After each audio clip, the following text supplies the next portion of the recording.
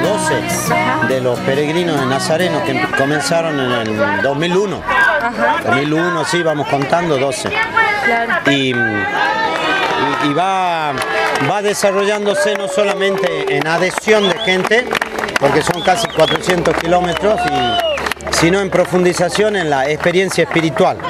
Todos hoy podemos este, decir, como decíamos anoche en la misa de la caldera, porque un poco la homilía fue la conversación sobre la experiencia, que era un verdadero retiro espiritual en donde hay muchos momentos en donde cada uno en su conciencia personal reflexiona sobre su vida, experimenta la ayuda de los demás y sabe proyectar esta peregrinación como un símbolo de la vida entera y de la vida en iglesia y en comunidad.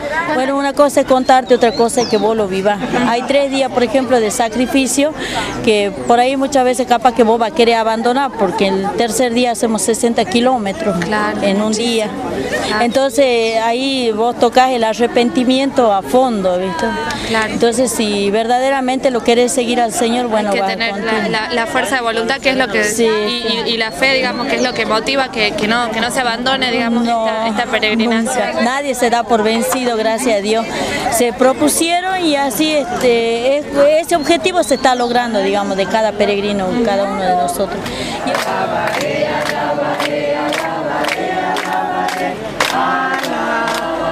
a mi Señor. La bendición de Dios Todopoderoso, del Padre, Padre, del Hijo, del Espíritu Santo. Amén. siempre en la peregrinación de la vida, en la peregrinación del trabajo y en la peregrinación de este camino hacia la patria celestial. Amén. Amén.